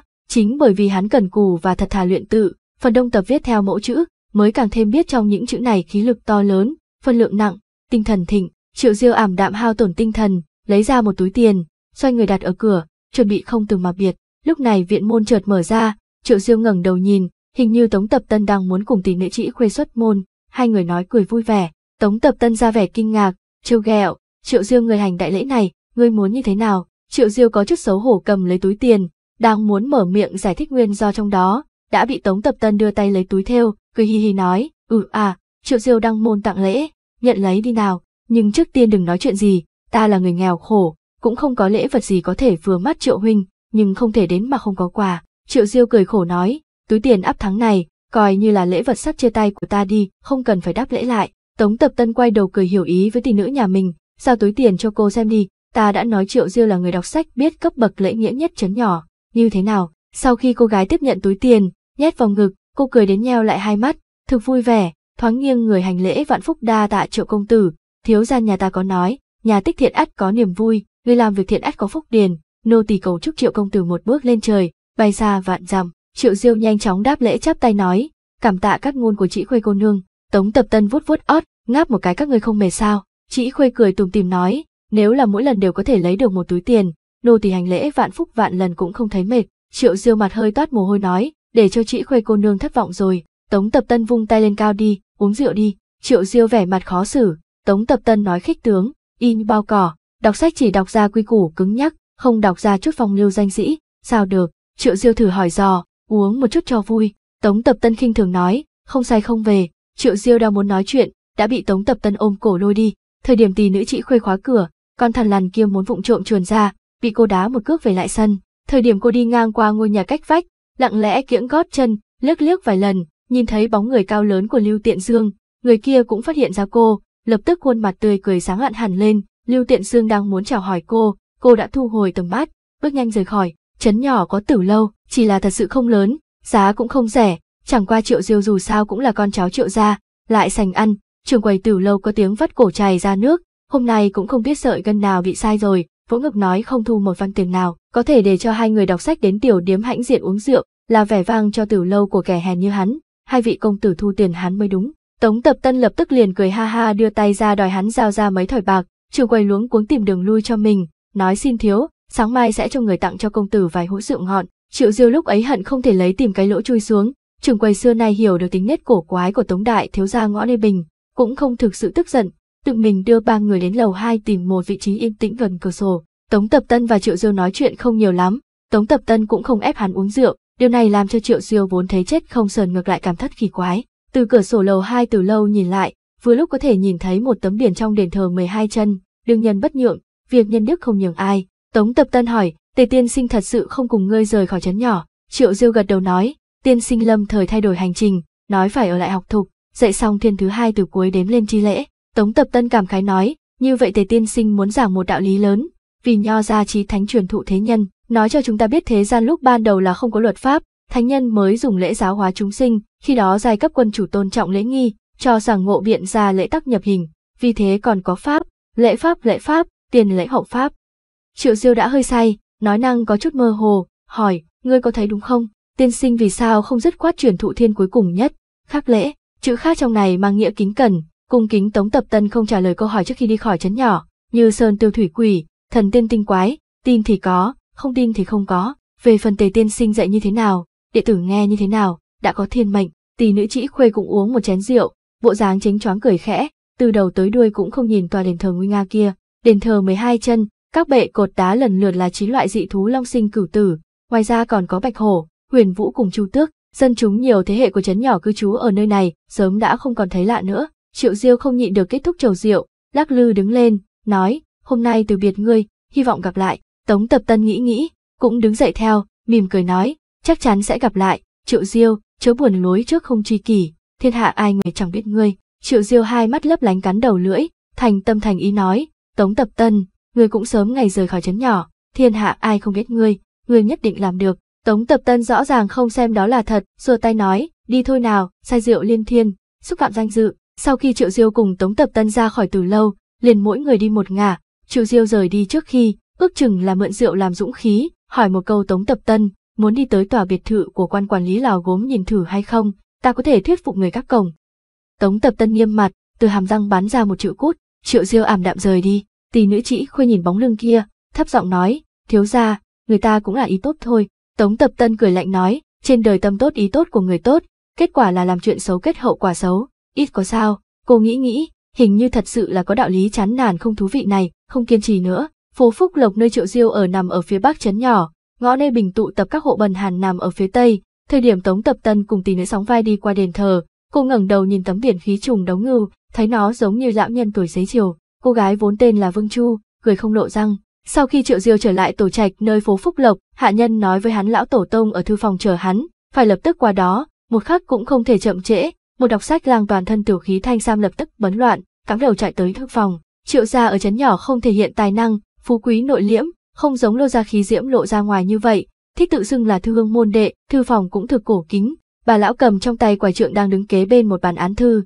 vuốt ve mặt bàn, khuôn mặt tang thương của bà cũng tràn đầy thương cảm hồi ức thần sắc. Sau khi bà lão ngửi được mùi rượu nồng nặc của trường tôn ở ngoài cửa, cũng không tức giận, cười ngoác tay nói, Diêu Nhi, vào đi, đứng ở cửa làm chi, Nam Nhi uống chút rượu thì có là gì, cũng không phải uống nước tiểu ngựa, không mất mặt đâu. Triệu Diêu cười khổ bước qua cửa, hành lễ với lão tổ tông vô cùng cung kính. Bà lão không kiên nhẫn nói, đọc sách nhiều rồi, chính là điểm ấy không tốt, khuôn sáo, khiến cho người đọc sách cả đời đều như quỷ đánh tường, lệch lạc thật sự, ví dụ như ra ra người đó, cái gì cũng đều đứng mũi chịu sào, duy chỉ có nói với ta đạo lý lớn, nói liên miên cằn nhằn, thật sự là đáng ghét à, hơn nữa bộ dạng thần thái đó, chật chật, chỉ muốn đánh thôi, ta nói không đại hắn, thật sự là làm cho người ta hận không thể dùng quả trượng đập một phát.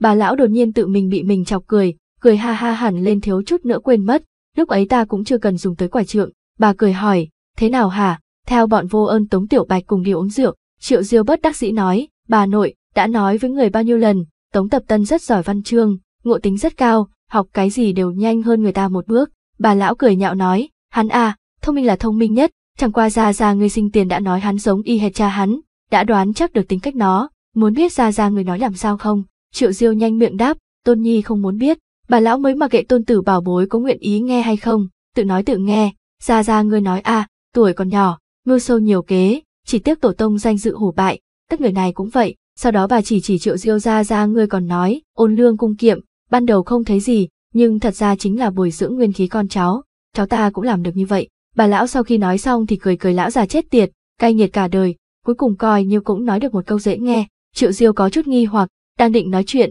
chỉ nghe bà nội thổn thức cảm thán nói, già rồi già rồi, thiếu niên đành phải thu hồi lời nói, cười tiến lên đỡ lấy cánh tay bà lão bà nội thọ tỷ Nam Sơn, còn rất trẻ trung. Bà lão đưa bàn tay khô héo, vỗ vỗ mu bàn tay tôn tử bảo bối mạnh hơn so với gia gia ngươi, đọc sách không biết giảng đạo lý chó má gì, cũng biết nói những lời làm người ta vui vẻ. Thiếu niên cười nói, gia gia thật có học vấn, tề tiên sinh cũng nói gia gia nghiên cứu học vấn hữu đạo, giải thích chữ nghĩa, rất có tâm đắc. Bà lão lập tức lộ ra dấu đầu lòi đuôi, không che lấp được đắc ý rào rạt, lại phải ra vẻ hừ lạnh nói, còn không phải sao, còn phải xem là nam nhân do ai chọn lựa nữa. Triệu Diêu nhếch môi, nhịn cười. Bà lão mang theo Triệu Diêu đi tới bên cạnh ghế dựa sau án thư, thiếu niên phát hiện trên án thư có đặt một điêu khắc gỗ tựa như một tượng ngọa long, trông rất sống động, chỉ là không biết vì sao, sau khi cẩn thận quan sát, liền phát hiện mộc long màu xanh này có mắt không tròng. Bà lão cầm lấy một cây bút lông mực nước đã chấm mực sẵn, là một cây bút nhỏ thân bút làm từ cành của gốc hòe già, hai tay cầm lấy, run rẩy đưa cho đích trưởng tôn. Triệu Diêu không hiểu gì chỉ tiếp nhận bút lông,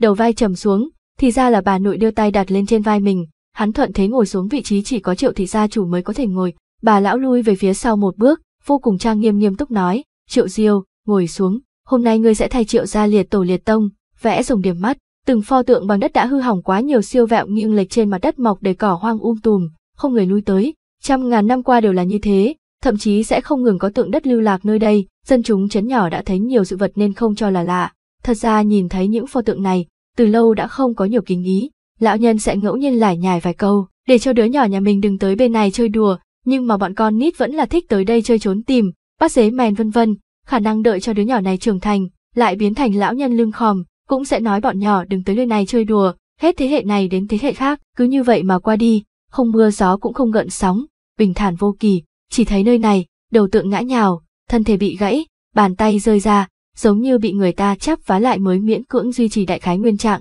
nhưng mà còn sót lại gương mặt, một thiếu niên dày rơm, từ bên kia ngõ nơi Bình vội vàng chạy đến nơi đây, trong lòng bàn tay hắn nắm chặt ba đồng tiền cấp dưỡng, sau khi hắn đến nơi đây, cứ đi rảo tới rảo lui, còn nhầm nhầm gì trong miệng, sau đó vô cùng thành thạo tìm được một pho tượng thần, ngồi xổm người xuống, nhìn quanh bốn phía, cũng không thấy bóng người, lúc này mới lặng lẽ để đồng tiền vào trong khe hở của tượng thần đã vỡ nát, sau khi đứng dậy thì đi tìm pho thứ hai, pho thứ ba, đều là làm như thế. Trước khi thiếu niên rời đi, một mình đứng ở trong bụi cỏ xanh mướt, hai tay chắp lại, cúi đầu mặc niệm nói, vỡ vụn bình an, vỡ vụn bình an, hy vọng các ngươi phù hộ cha mẹ ta kiếp sau không phải chịu khổ. Nếu như có thể, xin các ngươi nói cho cha mẹ ta biết, ta hiện tại sống rất tốt, không cần lo lắng. Lúc hoàng hôn, Trần Bình An quay về trấn nhỏ đi ngang qua thành cửa đông, Hán tử trong cửa lôi thôi còn đang ngâm nga, đang hát đến một tấc quang âm không thể coi nhẹ, vinh hoa phú quý đều có thể trôi đi, có lẽ bị bước chân dồn dập của thiếu niên giày rơm quấy nhiễu, Hán tử mở mắt ra, vừa vặn đối diện cùng thiếu niên đang chạy chậm tới cửa, sau khi Hán tử nhìn thấy là con quỷ đáng ghét này, mất hứng đến cực điểm, tức giận phất tay nói, đi đi đi, quang âm tiểu tử ngươi giá trị được mấy đồng, bốn chữ vinh hoa phú quý, nếu ngươi có thể với tới được một chữ thì đã thắp cao hương rồi. Sau khi Trần Bình An chạy qua, cao cao nâng lên một bàn tay, năm ngón tay mở ra, dùng sức quơ quơ, hiển nhiên là đang nhắc nhở hắn tử trong cửa kia, giữa bọn họ hai người, còn có năm văn tiền tình nghĩa hưng khói. Bạn đang xem kiếm like tại kênh youtube Di các phim, hắn tử hung hăng nhổ ra một ngụm nước miếng, mắng, cũng không phải thứ gì tốt đẹp. Bóng người thiếu niên biến mất rất nhanh, hắn tử ngẩng đầu nhìn bầu trời xanh thảm sắc trong vắt, tựa như một lớp trắng men xinh đẹp. Hắn tử xoa cái cầm đầy gốc râu, chật chật nói, tề tiên sinh từng nói một câu thơ, cái gì gì, vật tốt, lưu ly. Một chiếc xe trâu chậm rãi chạy ra khỏi trấn nhỏ, ngồi trên xe là một vị đọc sách thanh sam tiếng lành đồn xa, Sa Phu là hán tử trung niên thần sắc chất phác, hán tử lập tức ngoắc tay, lớn tiếng cười nói, siêu nhi, trước tiên ngươi đừng vội đi, ca ca ta có mấy câu để trong bụng, chỉ nhớ là cái gì vật tốt vật, lưu ly gì đó, những chữ khác là làm thế nào cũng muốn không nổi, tiểu tử ngươi học vấn cao, nói ta nghe đi. Triệu Diêu trong lòng ôm một cái bọc hành lý, thần thái tăng lên, cất cao giọng nói, thế gian đồ tốt không chắc chắn, lưu ly dễ vỡ như mây tan. Hán tử vươn ngón tay cái không hổ là Diêu Nhi, học vấn đỉnh cao, về sau thành danh, đừng quên quay về quê nhà thăm lão ca, nói không chừng đến lúc đó còn có thể thay thế tiên sinh ngươi, làm tiên sinh dạy học cho mấy đứa nhỏ trong trấn nhỏ chúng ta, cũng tốt lắm. Triệu Diêu ngẩn người, lập tức ôm quyền mỉm cười nói, nhận cánh ngôn của lão ca, hán tử rất vui vẻ, từ trong tay áo lấy ra chiếc túi theo, cổ tay run lên, cao cao vứt cho thanh sam đọc sách lang, nhếch miệng cười nói, nhiều năm như vậy toàn để cho ngươi viết bao nhiêu câu đối xuân miễn phí, mấu chốt là tiểu tử ngươi cũng phúc hậu, chưa bao giờ cảm thấy phiền toái. Lão ca nhìn người cho tới bây giờ chưa từng sai, đưa người chút đồ chơi, thuận buồm xuôi gió. Triệu Diêu vội vàng tiếp nhận tiền túi sau này còn gặp lại, hắn tử cười gật đầu, khoát tay với xe trâu của thiếu niên, chỉ lẩm bẩm nói, khó đây, giày rơm thiếu niên đi tới chỗ sâu trong trấn nhỏ, Triệu Diêu xe trâu tắc lao tới thiên địa bên ngoài trấn nhỏ, đi lướt qua nhau, Hán tử ngồi ở trên gốc cây đang bấm đốt ngón tay đếm sổ thiếu niên đại tùy mang theo giỏ che cá chép vàng, thằng nhãi con của cố quả phụ ngõ Đê Bình, cộng thêm Diêu Nhi phố Phúc Lộc, như vậy cũng đã là ba cái, nhưng mà kế tiếp còn có nhiều người như vậy, vừa đâm đầu tiến vào, không phải chỉ còn lại một kẻ làm việc quần quật nát cả mặt sao, hay là, ta cũng nhân cơ hội tìm một đồ đệ hiếu thuận để đấm lưng bóp vai, hán tử đưa tay ra day day những nếp nhăn ngăm đen trên hai má, hắc hắc cười nếu như là nữ, thì phải là nữ đồ đệ xinh đẹp, như vậy là tốt nhất rồi, hà, khuôn mặt kém chút cũng có thể chấp nhận được, nhưng chân nhất định phải dài. Vị hán tử nổi tiếng vô lại trong trấn nhỏ, hai tay ôm lấy cái ót, ngửa đầu nhìn bầu trời, vui vẻ ngâm nga. Khi suy nghĩ đến những chuyện vui vẻ sau này,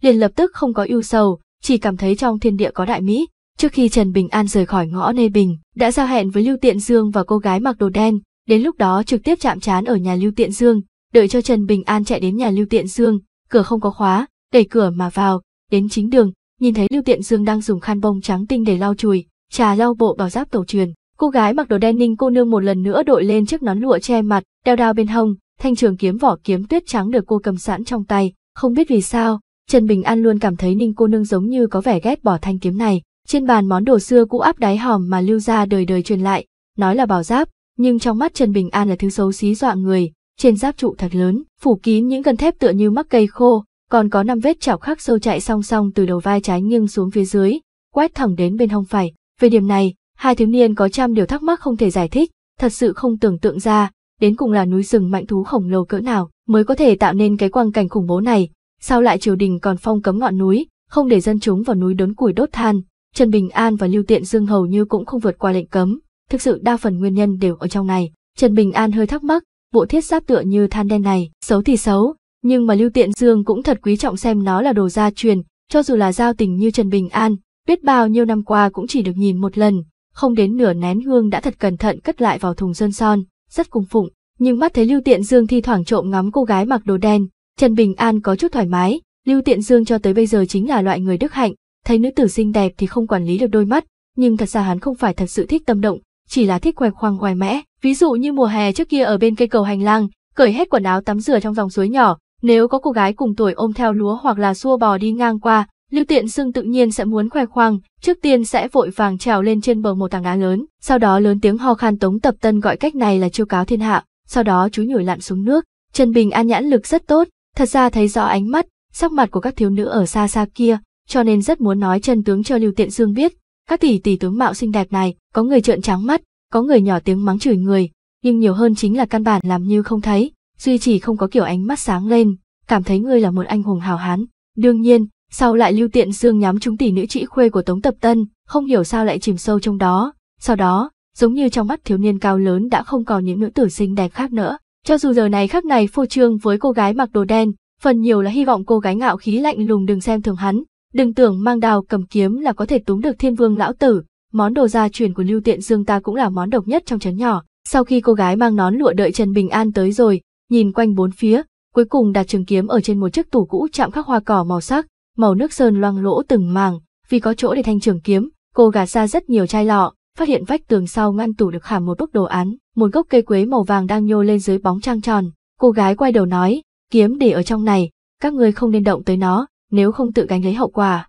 ta không hay nói giỡn. Lưu Tiện Dương đang bận lau chùi bảo giáp, thì thoảng cúi đầu thở dài, trực tiếp lấy cánh tay nhẹ nhàng vuốt phẳng, đã thực sự đắm chìm trong niềm vui đó. Trần Bình An hứa hẹn nói, nhất định, cô gái nói với Lưu Tiện Dương, chiếc tủ này không đáng giá tiền, nhưng mảnh khảm kim quế quảnh nguyệt này, ngươi đừng vội vàng bán đi. Lưu Tiện Dương cũng không ngẩng đầu lên nói, thứ đồ chơi đó từ nhỏ ta đã không thích, nếu cô nương muốn, cứ gỡ xuống đi. Cô gái mặc đồ đen đương nhiên làm ra cử chỉ đâu thể đưa món đồ quý vào tay người không biết thưởng thức, chỉ là tò mò hỏi, bức đồ án này dùng tài liệu gì? Lưu Tiện Dương quay đầu liếc mắt đồ vật đã mấy trăm năm, ta làm sao biết được, ngay cả gia gia của ta nói không chừng cũng đoán không ra. Trần Bình An nhẹ giọng nói, hẳn là từ những hòn đá nhỏ nhặt được bên bờ suối, có rất nhiều loại màu sắc, nhưng năm xưa trưởng mối của Lưu Tiện Dương khẳng định là chỉ chọn màu vàng kim, trước tiên nghiền nát rồi dán lại với nhau. Bọn ta gọi loại đá này là xà đàm thạch. Cô gái mặc đồ đen hỏi, đá, trong suối có nhiều không? Trần Bình An cười nói, Ninh cô nương nếu cô muốn, ta có thể một ngày nhặt được một sọt lớn cho ngươi. Bên chỗ bọn ta không ai coi trọng thứ này, chỉ có cô sán thích, thường xuyên một mình đi nhặt. Cô gái mặc đồ đen thở dài, nhìn thật sâu thiếu niên bần hàn ngõ nơi bình kẻ nghèo hàn ở trên núi vàng núi bạc A. Trần Bình An kinh ngạc nói, loại đá này ở bên ngoài đáng giá sao? Cô đưa tay đỡ nún chùm đầu, nói, giá cao thấp, cũng phải xem nằm ở trong tay ai, trừ việc đó ra, cho dù rơi vào tay người hiểu nghề, có thành hay không còn phải xem vận khí. Vận khí tốt, một viên là đủ, vận khí không tốt, đá trồng chất thành một ngọn núi cũng không được việc, nhưng mặc kệ như thế nào, vẫn là đáng giá, hơn nữa rất đáng giá, cũng không biết có thể mang ra khỏi trấn nhỏ hay không, điểm ấy thực mấu chốt. Lưu Tiện Dương chen vào một câu loại đá có vẻ hơi kỳ lạ, chỉ cần sau khi cầm đi khỏi suối nhỏ, một khi gió thổi nắng chiếu, màu sắc sẽ trở nên nhạt đi, nhất là sau khi mưa rơi tuyết rơi, sẽ phai màu nhanh hơn. Trừ việc đó ra thì không gì, cô gái tức hận nói, quả là như thế. Trần Bình An do dự một chút chi bằng ta ngày mai ta đi nhặt một sọt lớn về, thử xem sao, lỡ như có ngoại lệ thì sao. Cô gái lắc đầu nói, với ta mà nói, không có ý nghĩa. Lưu Tiện Dương đã đem bảo giáp vào phòng cất kỹ,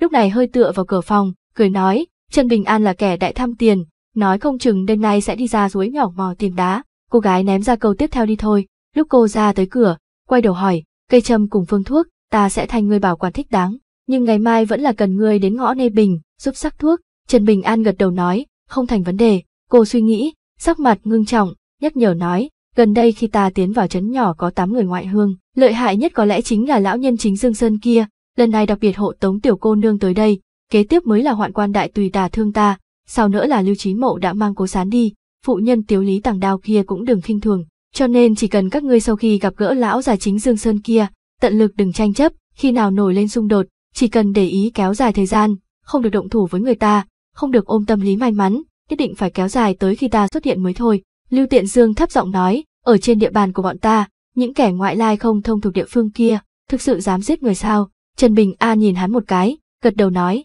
dám. Lưu Tiện Dương nuốt nứt nước miếng, Trần Bình An đột nhiên hỏi, còn nhớ lục đạo trưởng cũng chính là thầy bói ngoài sạp kia đã nói như thế nào với ngươi không? Lưu Tiện Dương suy nghĩ một hồi, sau khi cố sức nhớ lại, vò đầu bứt tai nói, cái này ta làm sao nhớ rõ được, chỉ biết là những lời xui xẻo không lọt lỗ tai, nói chung là nói cái gì có đại họa, phải thắp hương linh tinh, lung tung cả lên, lúc ấy ta chỉ nghĩ là hắn nói hưu nói vượn, hù người lừa tiền.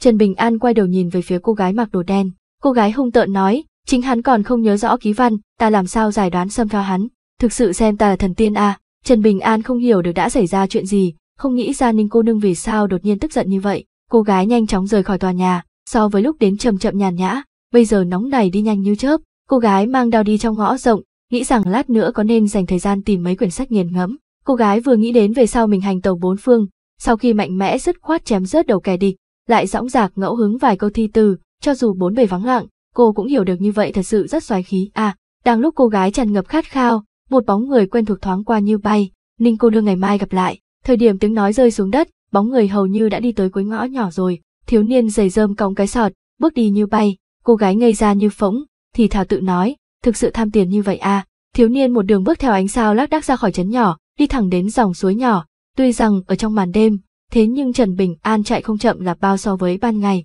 Trần Bình An cố gắng tránh chỗ có mực nước sâu nhất của cầu hành lang, nước ở chỗ đó còn sâu hơn những chỗ khác nhiều. Trần Bình An chọn một đoạn suối mà nước không qua đầu gối, hắn tháo cái sọt lớn sau lưng xuống, khom lưng cầm lấy một sọt trúc nhỏ giấu ở bên trong, buộc chặt ở bên hông, cởi giày rơm, sắn ống quần, lúc này mới mò xuống nước đi nhặt đá. Tay trái bị thương từ vết cắt của mảnh vỡ gốm vẫn còn hơi đau. Dĩ nhiên không thể để thấm nước, thiếu niên cũng chỉ có thể sử dụng tay phải mò vào trong dòng suối nhỏ. Thật ra đá ở lòng suối khô cạn dễ nhặt nhất, thế nhưng theo như lời của Lưu Tiện Dương, màu sắc sẽ ảnh hưởng rất lớn. Bây giờ từ những lời nói đơn giản của thiếu nữ áo đen kia, Trần Bình An biết được huyền cơ bên trong, cũng không khó lý giải, cảm thấy những cục đá này, thật ra giống như là năm đó mình theo diêu lão đầu trèo đèo lội suối, tìm kiếm đất ở chung quanh, nhìn như bùn đất bình thường, có vài chỗ chỉ cần cách nhau một đỉnh núi, bỏ vào miệng nếm, sẽ có mùi vị hoàn toàn khác biệt. Diêu lão đầu nói cái này gọi là cây rời chết người rời sống, bùn đất rời đi thành Phật, một nắm bùn đất trong tay, chỉ cần rời khỏi mặt đất ban đầu, sẽ biến chất rất nhanh. Dòng suối nhỏ không có tên, trong dòng suối nhỏ có những viên đá lớn như nắm tay, nhỏ như ngón chân cái, đủ mọi màu sắc, nhưng bách tính trong trấn nhỏ, mấy đời nhìn quen chúng nó lẳng lặng nằm giữa dòng suối trong suốt, tự nhiên không ai cảm thấy có gì là hiếm lạ. Nếu có người lấy đi những tảng đá này mang về nhà, chắc chắn sẽ bị coi là kẻ ngu si, ăn no dùng mỡ, có hơi sức như vậy không bằng làm thêm mấy việc đồng áng, không phải kẻ ngu si thì là cái gì. Trần Bình An khom lưng lội nước không ngừng di chuyển, lục lọi quanh những tảng đá lớn nơi đáy suối, nhặt bảy tám cục đá nhỏ để vào sọt trúc, lớn nhỏ không đồng đều, màu sắc khác nhau, có vài cục đá có màu giống như trái quýt vàng óng treo nơi đầu cành khi trời vào thu, cũng có màu trắng nõn mịn mạng như là da thịt trẻ con, cũng có hòn màu đen như mực, hơn nữa còn đen bóng, còn có đỏ thẫm như hoa đào, cùng với màu xanh của tôm, muôn màu muôn vẻ. Những hòn đá có tên tục thôn dã gọi là xà đàm thạch này, hơn phân nửa không lớn, cầm trong tay khá là nặng, nếu như giơ lên cao cao dưới ánh mặt trời ban ngày, hoặc là ánh sáng đến đêm khuya chiếu rọi, những đường vân hoa văn ở bên trong tảng đá thoát ẩn thoát hiện, mơ hồ như tơ, như rắn nhỏ cá nhỏ bò trườn uốn lượn,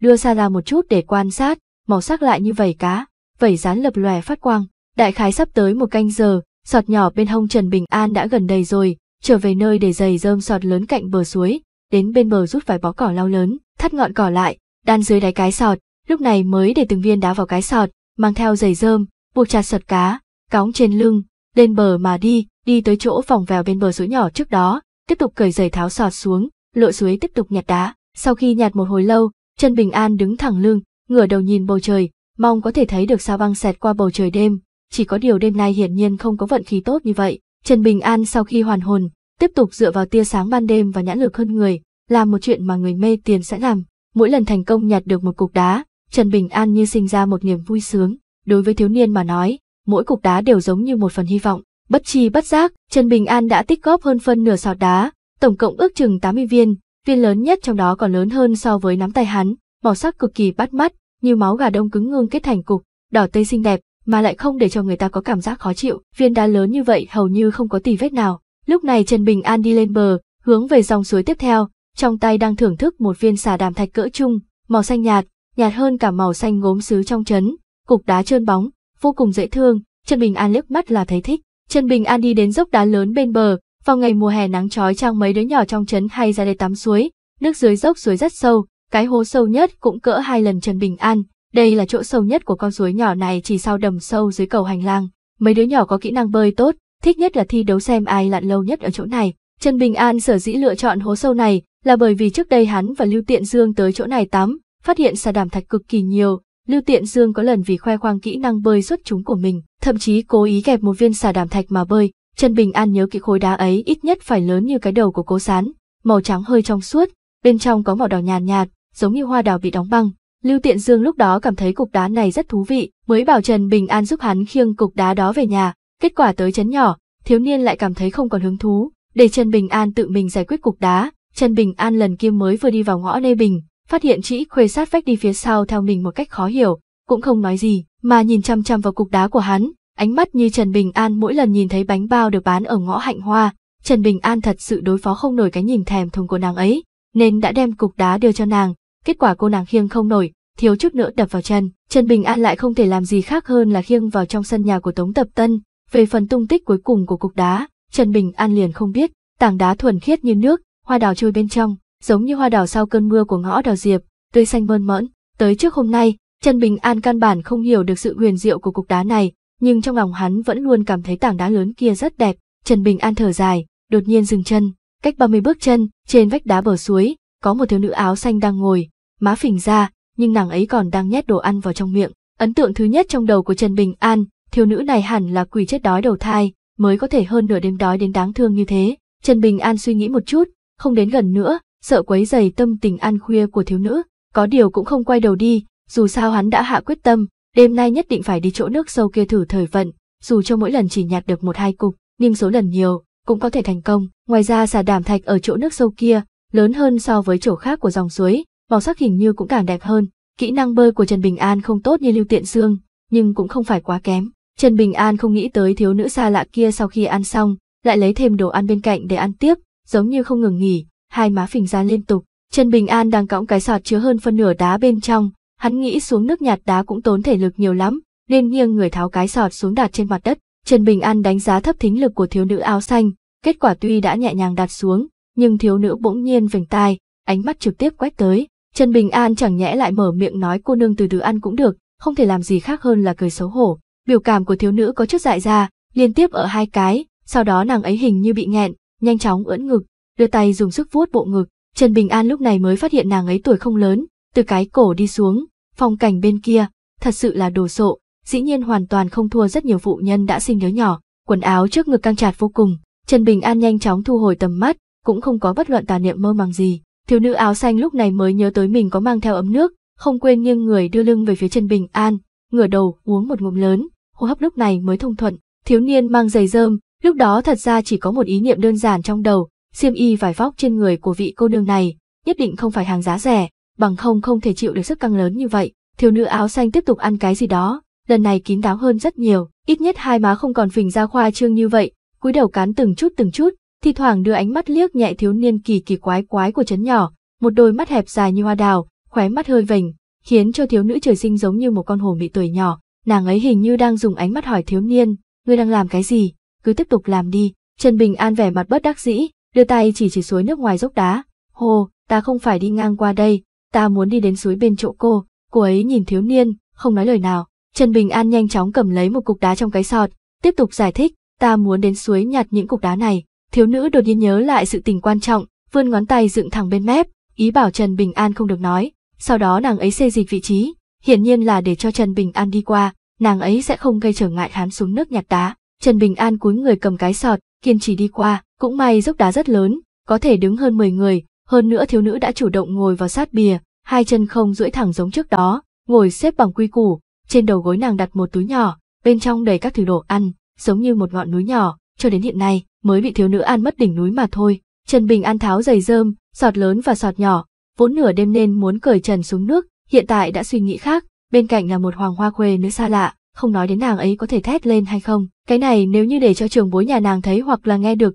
Trần Bình An phòng chừng mình bị người đập gãy hai chân cũng không oan uổng chút nào. Trần Bình An đi tới dốc đá, bắt đầu lặn xuống, mò xuống chỗ sâu nhất, rất nhanh liền bắt đầu nhặt đá, to cỡ bàn tay, đáng tiếc không phải xà đàm thạch, chỉ đành trồi lên lau mặt, tiếp tục lặn xuống, ba lần qua đi, rốt cục nhặt chúng một khối xà đàm thạch màu xanh đen. Trần Bình An cả người ướt sũng bỏ lên trên dốc đá, để vào cái sọt, sau đó tiếp tục lặn xuống nước, từ đầu tới đuôi, thiếu nữ đều đưa lưng về phía bên này, bận rộn ăn đồ ăn, không được nửa canh giờ, Trần Bình An cũng đã nhặt được 7-8 cục đá, ngoại trừ cục đá đầu tiên có màu hơi mờ, những cục còn lại đều có màu rất đẹp. Lần cuối cùng lặn xuống dưới, nhưng không có nhặt đá, mà là bắt một con cá sống to cỡ bàn tay, trong chấn nhỏ gọi cá này là cá đá, một khi gặp phải người, thì thích trốn dưới hòn đá, vị thịt cực ngon, bình thường chỉ lớn cỡ ngón tay, to cỡ bàn tay như con cá trong tay Trần Bình An thì rất hiếm. Trần Bình An trước đó thật ra đã mò chúng mấy con ở dưới khe đá, chỉ có điều lúc đó vì nhặt đá, nên đã thả đi, lần này linh quang vừa hiện, đột nhiên cảm thấy nếu như tối nay có thể bắt được mấy con cá, ngày mai nấu canh cá cho Ninh cô nương, cũng rất tốt. Trần Bình An sau khi lên bờ thì tiện tay bỏ cá vào sọt trúc. Lần thứ hai lúc bắt cá lên bờ, Trần Bình An đột nhiên phát hiện thiếu nữ kia đã ngồi xổm bên cạnh sọt cá, nhìn chăm chăm con cá nằm trong sọt, có thể thấy được thần thái tỏa sáng của nàng ấy, không khác gì năm đó chị quê nhìn thấy cục đá kia trong ngõ nhỏ. Trần Bình An bỏ con cá thứ hai vào sọt trúc, thiếu nữ chậm rãi ngẩng đầu, thiếu niên đã xoay người bước nhanh, lại lặn xuống suối. Thiếu nữ sau khi nghe thiếu niên nhảy ầm xuống nước, nhanh chóng cầm lấy con cá từ trong sọt trúc ra, cúi đầu nhìn con cá vẫn còn đang nhảy, thân tình nghiêm túc, gật đầu nói, lợi hại lợi hại. Thiếu nữ áo xanh biết chấn nhỏ này có rất nhiều cảnh tượng quái dị, như là cái giếng ở ngõ hạnh hoa vậy, sợi xích trên giếng không biết dài bao nhiêu, rồi cầu hành lang cách đó không xa, tiền thân thật ra là một cầu đá hình vòng bắc ngang qua dòng suối nhỏ ba ngàn năm, trên cầu có một thanh kiếm sắt đầy vết tích loang lổ, mũi kiếm chỉ xuống một đám nước xanh biếc sâu không thấy đáy, rồi cái miếu thờ con cua 12 chân kia, bên ngoài mọc đầy bụi cỏ, có những tượng đất đổ nát nằm ngổn ngang trong lùm cỏ, phương Bắc có núi gốm xứ chất đầy đồ sứ bị đốc tạo quan các đời tự tay phán định là tàn phẩm, đều bị đập vỡ nát, cùng nhiều thứ khác nữa. Nàng ấy thậm chí biết hơn phân nửa nguyên do, nàng từ nhỏ đã theo cha vào Nam ra Bắc, cho nên hoàn toàn thuộc về loại người nhìn nhiều quen mặt. Thế nhưng khi Trần Bình An lần thứ ba cầm cá lên bờ, hai tay của thiếu nữ đã trống trơn, vẫn ngồi xổm bên cạnh sọt cá như trước, chỉ là hai tay còn đang len lén trà góc áo, nàng ngửa đầu nhìn thiếu niên chân trần đến gần, ánh mắt giống như dân chúng đối đãi thần tiên. Trần Bình An bị ánh mắt cổ quái của nàng ấy nhìn làm cho cả người không thoải mái, hỏi thử, cô muốn những con cá này, thiếu nữ vô thức ra sức gật đầu, Trần Bình An cười nói, vậy ba con cá này cho cô là được rồi, lát nữa ta đi bắt tiếp, thiếu nữ trừng to mắt nhìn, sau đó hài lòng nở nụ cười, hôn mị và quyến rũ, kết thúc tập này ở đây nha mọi người, nếu không tìm thấy tập cần nghe các bạn vào danh sách phát để xem nhé, cảm ơn mọi người.